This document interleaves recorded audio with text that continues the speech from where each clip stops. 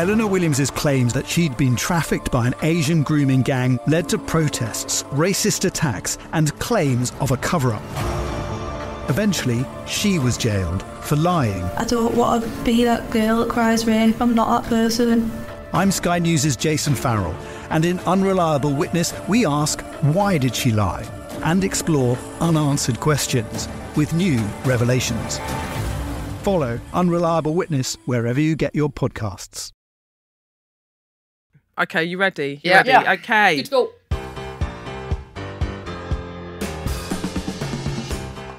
Okay, hello and welcome back.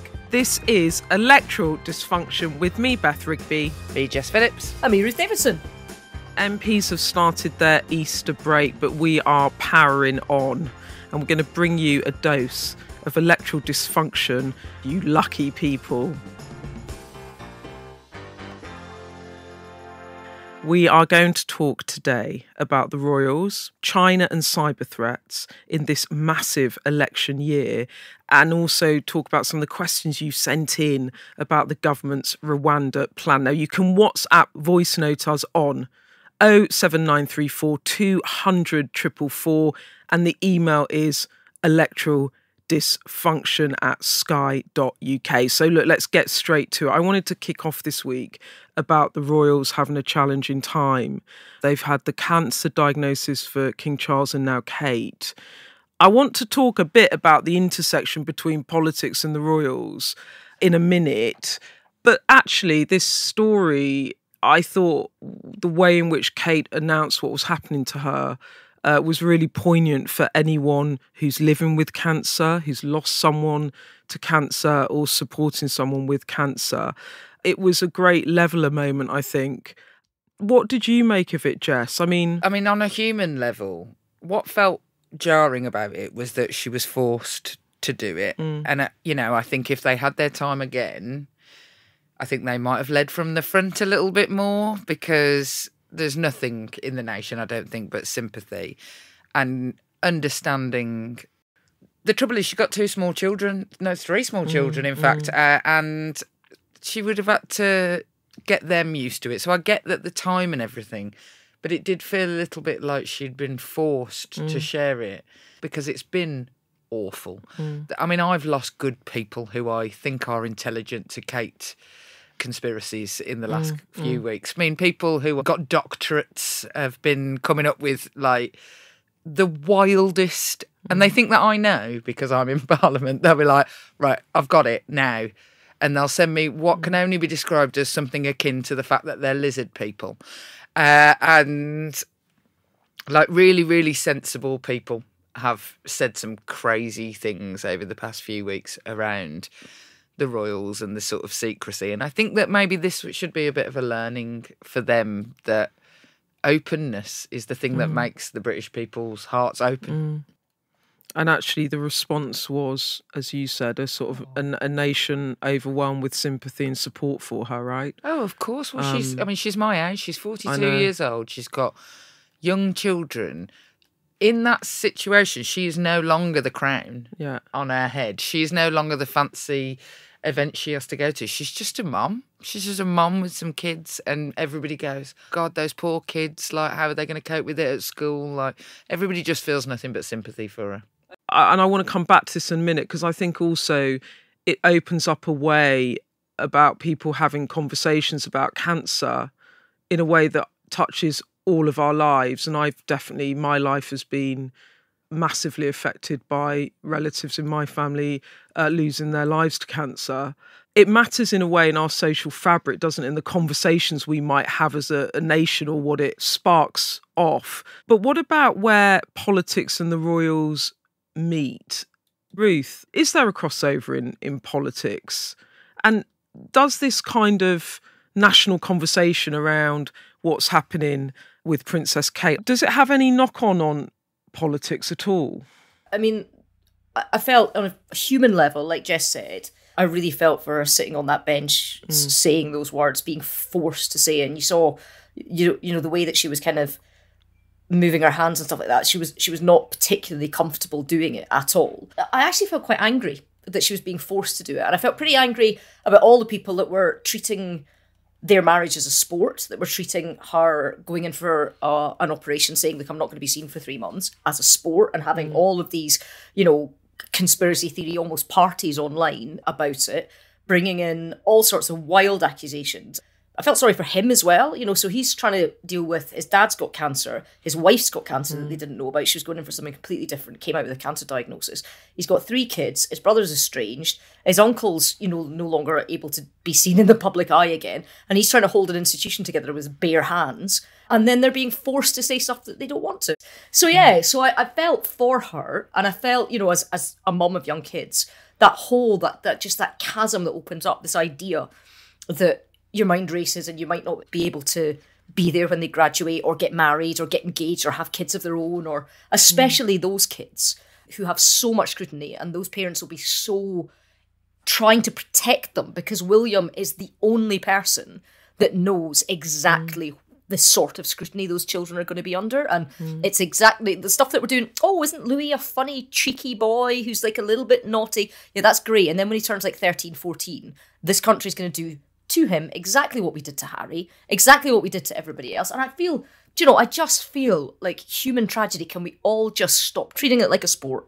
But also, I'm sorry, I'm just going to channel my Republican father uh, for a moment and say, yeah, I, I don't disagree with you in the, the human tragedy and all that. Like the Queen, I think one of the things that she famously said is that we have to be seen to be believed.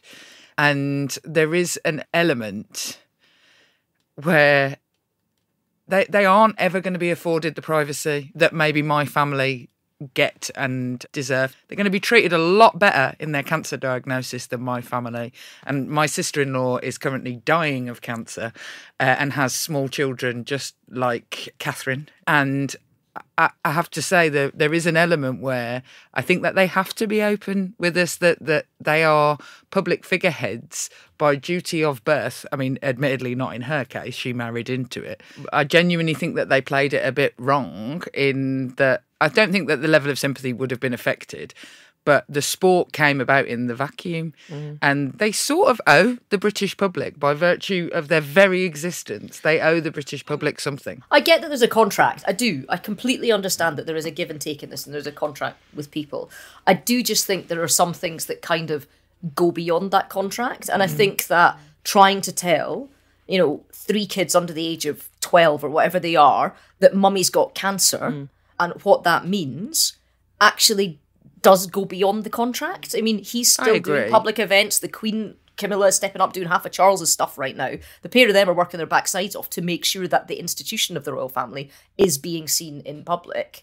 I, I do just think that that sort of transcends the contract and that we all don't get me wrong you know i i saw as much of the conspiracy theories as anyone um some of it you know was amusing as well as you know deep dark depths of lizard people stuff but i mean i just it's just yeah there's something about it. I, I don't know. I don't get sanctimonious about much but like she's a young mom she's got cancer. Her kids are like young and it's hard to explain that to people. It's hard for people to understand that. I lost my brother when he was in his early 40s to cancer, and he had very, very small children, right? So I think this story, as you were saying about your sister in law, on so many levels, it touches people because it reignites or re remembers something for them in their, their lives, right? So it it becomes even though they're the royal family and they're detached, it becomes quite a personal thing because people maybe they transpose their feelings onto onto her story let's go back to sort of royals and soft power and the way in which politics does or doesn't intersect with the royal family. I mean, Jess, you've done quite a lot of work with Queen Camilla. Mm-hmm. How much influence does she have? How does it work in royal world when royal meets politics? Well, I mean, there's still a huge amount of protocol that you have to sort of go through. So it's not like you're having sort of backroom chats and plotting with members of the royal family. The royals don't ever try and influence mm. us as politicians. They would never dream of such a thing. But the way that they do it, they have sort of the soft power and access and convening power that if they care about something, and Queen Camilla, she has cared for a long, long time before, uh, certainly before I was elected or before it the public knew about, she has been involved with domestic violence campaigning, uh, and she has some personal experience of a friend of hers from you know a sort of before life of hers that means that she's basically like an old 1970s feminist, basically, and is really, really good at convening the kind of people I wouldn't be able to get in a room on issues of violence against women and has been brilliant. She's a proper hoot as well. Yeah, I've heard that. I've never met her personally, but Oh, apparently she's- she's really good fun. She's absolute bants. So we, uh, the first time I ever met her, actually, she was giving she was giving me an award for some community work that I'd done long before I was elected, and my son was with me, my oldest son, and he was about eight at the time. And um, he, we were in Clarence House, and he picked up like something, and it said like from the Sultan of Brunei underneath, like gifted to the UK from the Sultan of Brunei. And he turned to me and he said, "They don't buy anything." Uh, and um, it's like, "Oh look, they don't buy anything." And she turned to him and she said, "Oh, we don't. And if you go outside, if you have a look in the garden, in the bushes is some of the stuff we don't like as much. Hidden it in the bushes." And it was like, is it that you don't like the states that they come from, or is it that you didn't like the, the pieces? She's too diplomatic to join in with that sort of banter with me. She wouldn't say which was her least favourite country, although I did try and make her. But Ruth, because the, the the royals are not meant to get political, are they? There's a kind of separation between politics and the royal family. There was that famous moment, wasn't there, that you will recall well, I imagine, where the Queen did she appear to get a bit political about the Scottish independence referendum of 2014? Yeah, there was a very famous uh, case where it was reported that an unnamed onlooker that was greeting her outside Crathie Kirk a few days before the independence referendum had joked to her about independence or something like that, and uh, she had replied that she would encourage people to think very carefully about the future before they're voting. Now, that actually doesn't mean anything. One, we don't know if it's true, and the, the palace did put out a statement afterwards basically saying we don't comment on anything. But think very carefully about the future. Like she wasn't telling people how to vote, nor would she. She's you know, she's a pretty canny operator was the Queen. I mean, how long did she last without ever really creating a diplomatic incident? it must be hard for her if you like presumably she you know has a home in Scotland. It's really important to her. She is the queen of the united kingdom. The idea that that Scotland would break away i mean she she would have hated it wouldn't she Of course and then she you have to sit on the throne and not say anything i don't think you'd be able to do that Jess Phillips I, I'll mean, I wouldn't. I wouldn't be able to manage the level of diplomacy Yeah. that it takes to just be the lowest rung of civil servant. the only worry about the interaction of politics and uh, the monarchy, I, I don't think that the the British public have that much to worry about because there is very little. There is very little influence one way or the other. Like we don't influence the royals, they don't particularly influence us. But you do start getting into stickier issues when you're in an election year and the monarch is unwell. You know, I think it is fair enough that what we will probably see, unless it is more clearly laid out in the next six months is the level of speculation about the insecurity that that could cause. Because I remember I was with some government lawyers just before the Queen died, because I was on the security bill and we had to be briefed by lawyers all the time during the process of, you know, deciding on what we allow our security services to do.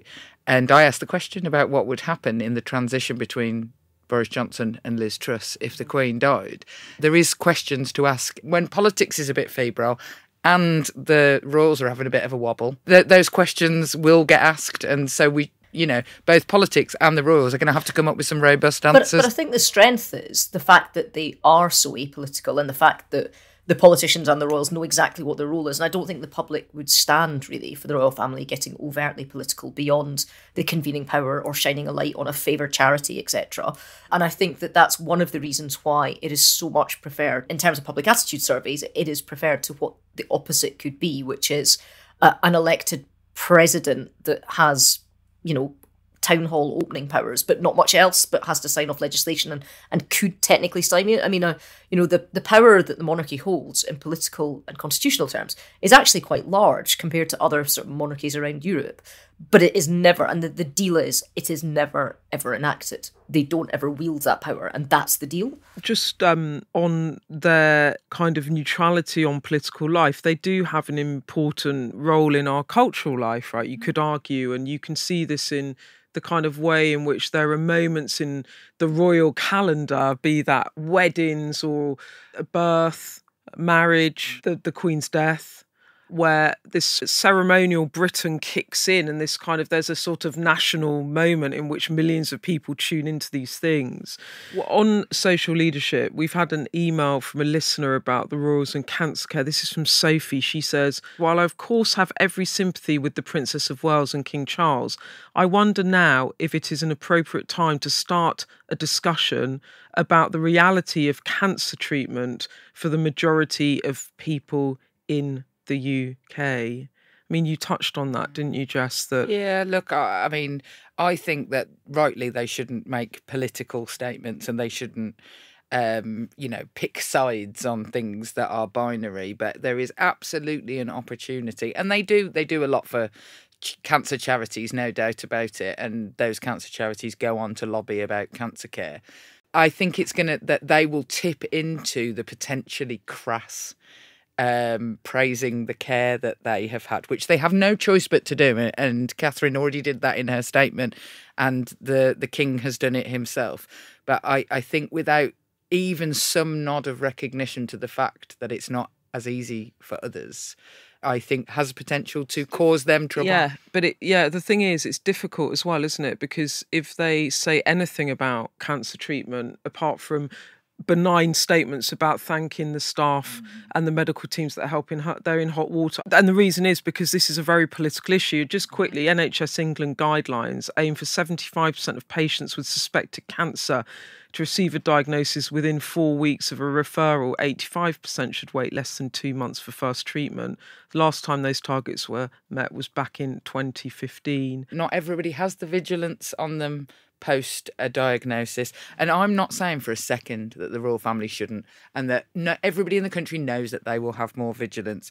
I am saying I think that there is an opportunity to, you know, whilst, and I think this is probably unprecedented that two members of the royal family had a disease at the same time so openly and being so open about it, and good on them for that. But I think that you know, if they don't address that particular issue, I just think that it's dangerous. And people like me who feel sympathy for them start to feel a little bit like hurt by it. I guess what the royal family can do though is raise awareness around health issues because you know for King Charles having said that he had a prostate issue that then prompted lots of gents to go and get checked and and you know we don't know what type of cancer Catherine has but again it's one of those areas where you know, if anything is ever wrong with you, just go and get it checked. If something doesn't feel right, go and get it checked. Absolutely. Don't don't be a hero. Just get it checked. It's much better to yeah. find out there's nothing wrong with you. You're not wasting you, anybody's time. And if you get checked early, you've got so much better uh, chance of survival. Look, let's move on. Let's get back to straight politics. The Deputy Prime Minister Oliver Dowden would you say, Ruth, that he is on top after calling out China backed cyber attacks and announcing sanctions on China?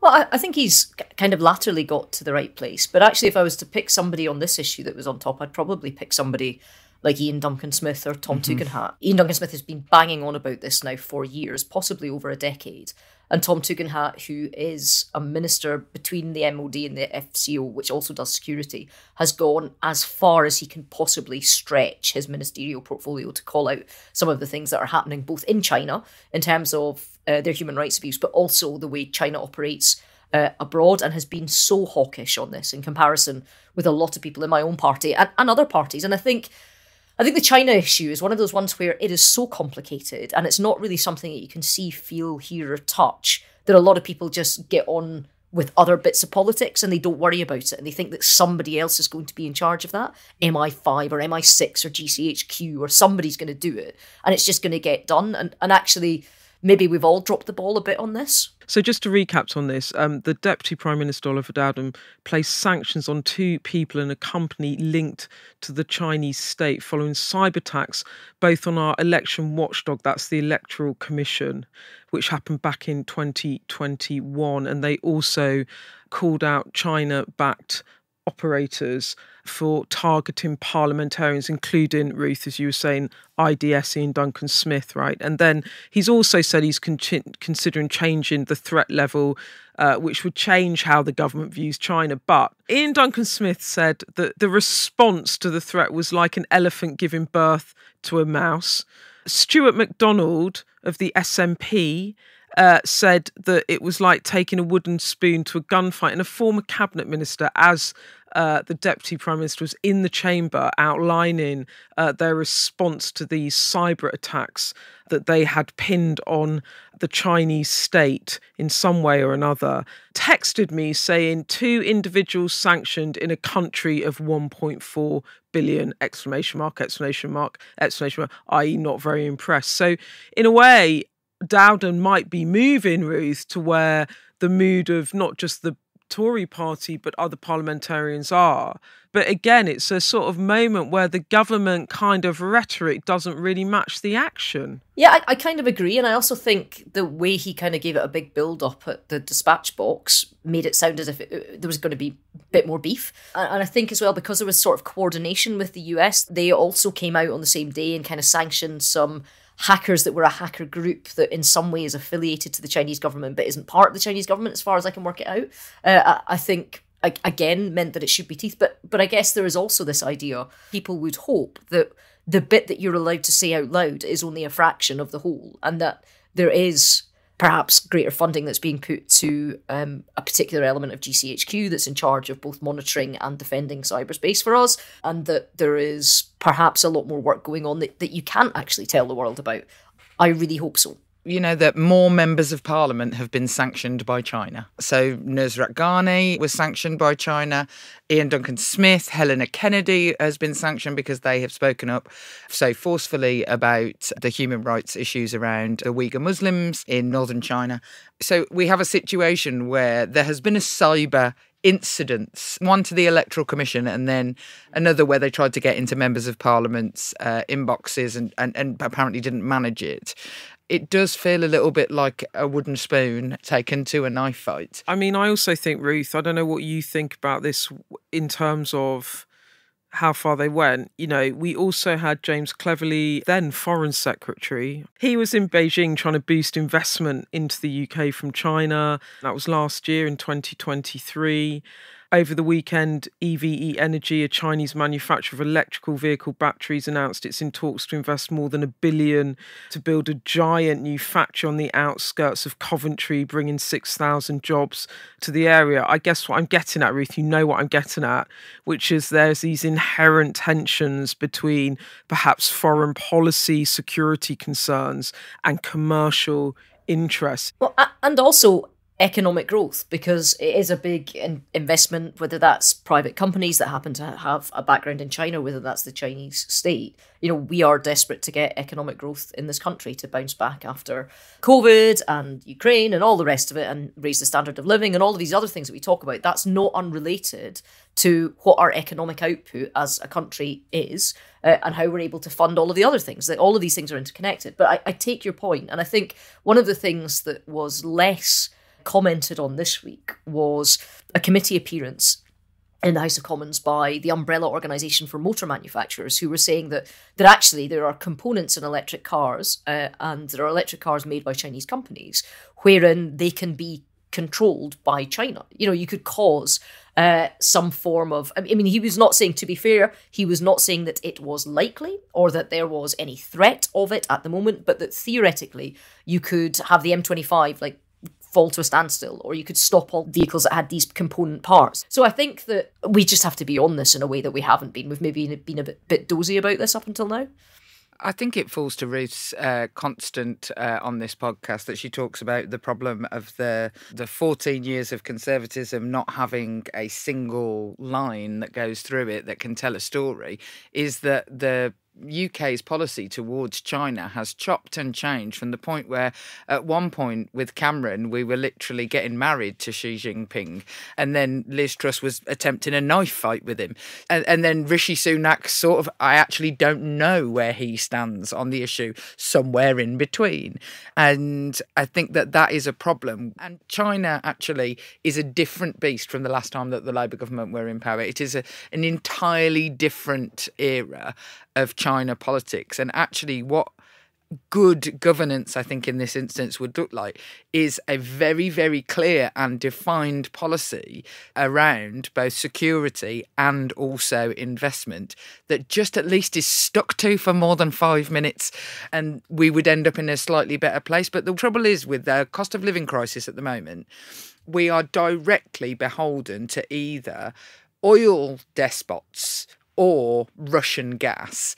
And I, I, fear that we're not learning the lessons of reliance on, you know, Russia obviously is a pariah state to us now. Iran is a pariah state and China isn't, and we haven't defined where we want to sit with it. And I think that's been the problem. You know, that I remember the golden era when Cameron and Osborne were talking about kind of strengthening economic ties.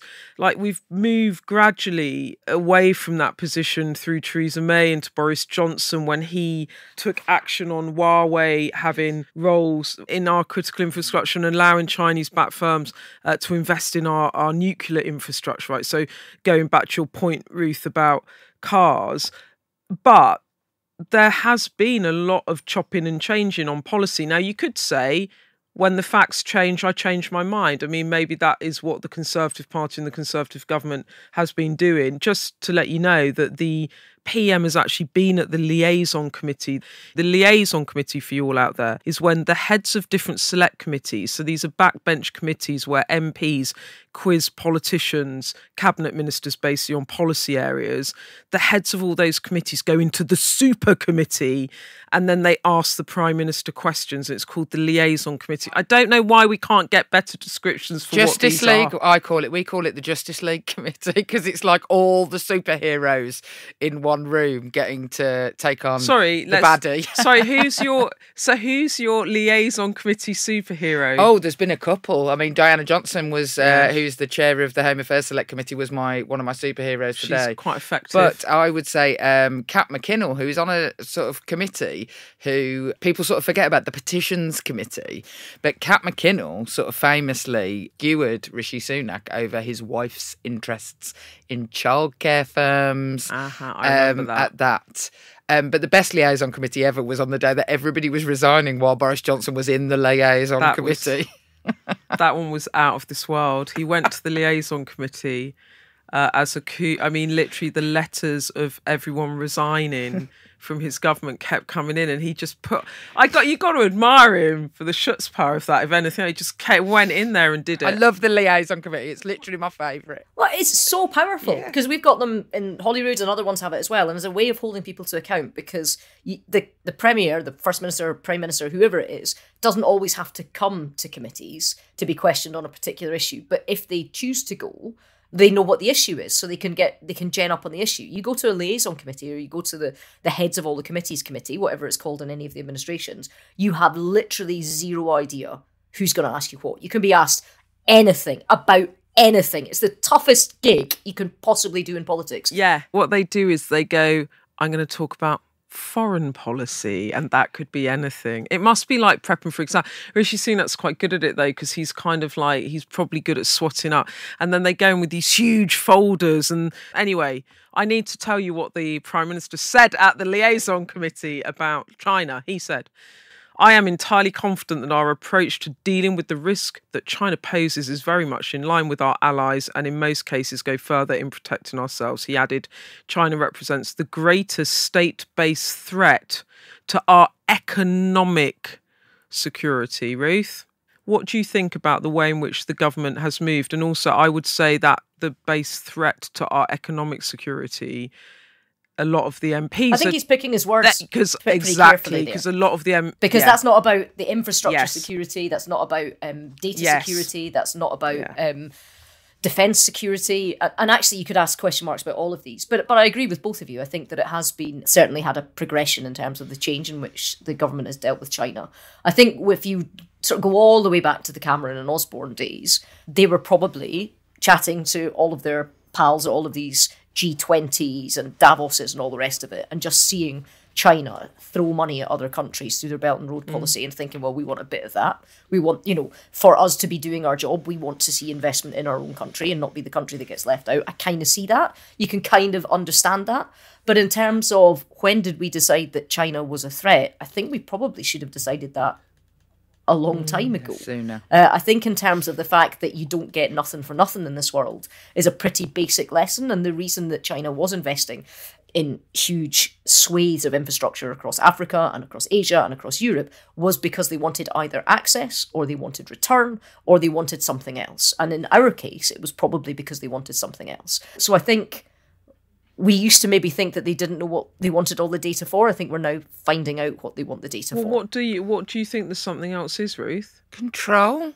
Yeah, I think it's it's it, control's a really loaded word, but but I think it, it is. It's about where the next level of espionage takes you. And I think this is a form of espionage. So it's about knowledge, it's about power, it's about control. When you go to China on a parliamentary trip, you are briefed by the FCDO. So that's the Foreign Office. office. Sorry, the Foreign Office. Essentially, you are told that they will try and get compromising information about you. So I mean, I'm, I'm not joking. Like honey traps, like being sent. And you're also told to take a burner phone. Yeah, you, I, well, I wasn't. I, I, left my phone at Heathrow. Yeah, you have to leave to your Beijing. phone. Yeah. yeah. but they are trying to find compromising things specifically on those who have critiqued them, and it's not even as if they're necessarily going to use it. That's the thing about China is that where I say like we wouldn't be allowing Iran or Russia to set up a battery company in Coventry at the moment. Now, I you know nobody's going to sit and say that China's going to mount a war on us. You know, they're not like a risk to us in in that way. And so it's quite easy for the British public to ignore it. But it, it's a long game. Like they want to be powerful, they've got powerful, and they want to retain their power, and they are shoring up ways of retaining their power in the future. And I don't think it's expansionist beyond the places that they consider, say, your Hong Kong, your, your, your Taiwan. It's not expansionist beyond the borders that you might imagine, but it's it's just this sort of silent, quiet threat. And it is a massive, massive threat to our economy in the future. It's coercive control. It is coercive control rather than a beating. Yeah yeah, that's what, you know, that's definitely the way I'd describe it. Let's pause there. Coming up, your messages and questions.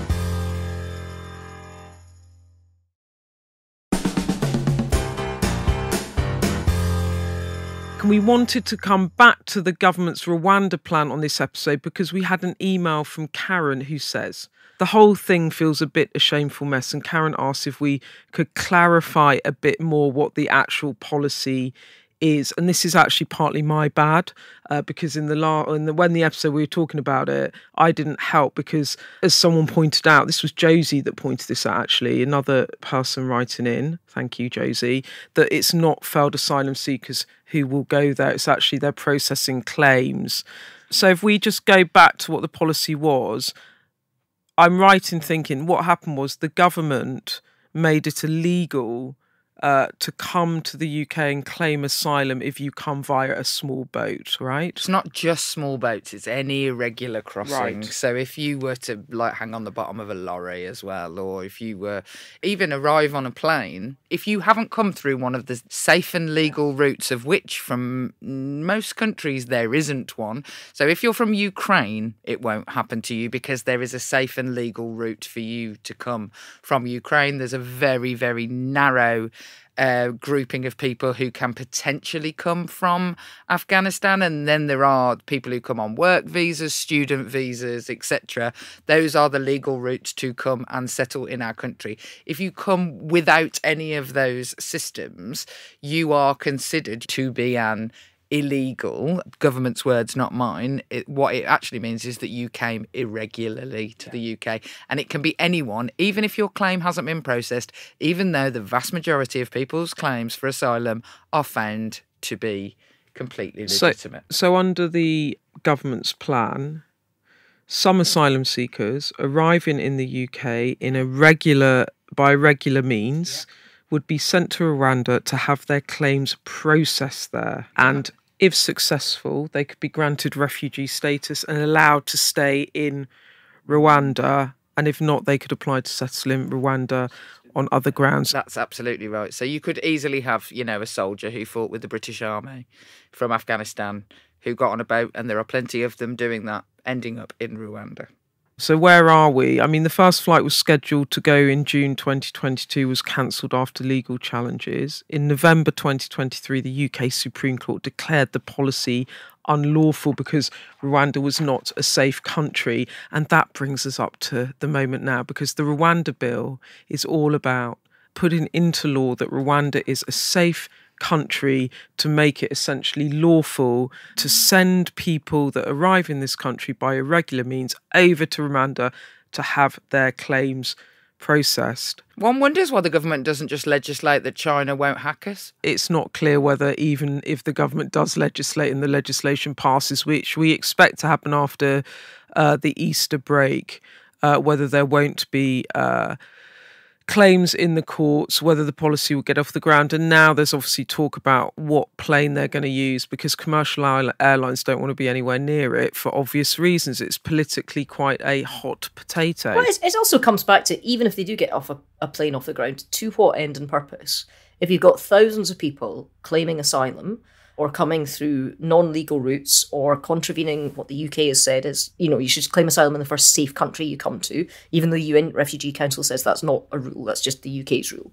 To what purpose is sending 200 people to Rwanda when you've got claims backed up round the block that are thousands strong? Another, actually, a conservative figure actually also messaged me about this, saying, you know, this this talk about the government offering thousands of migrants three thousand pounds to voluntary be the people that go to Rwanda. They made the point of uh, instead of detaining and removing those on small boats, they are going to use very limited capacity in Rwanda for these volunteers, as it costs two million per migrant. This is the most expensive resettlement scheme in the world, and that was from uh, someone that sits on Rishi Sunak's benches.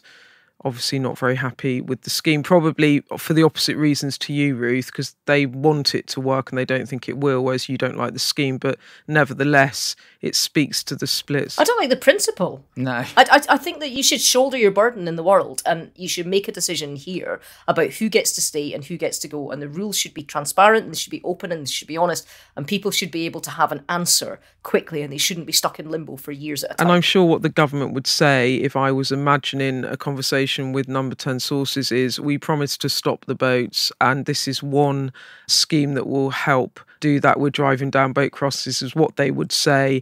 Uh, you know, and they would say this is one strand of, of that whole wider policy. I think we are going to be talking about this a lot after Easter, don't you?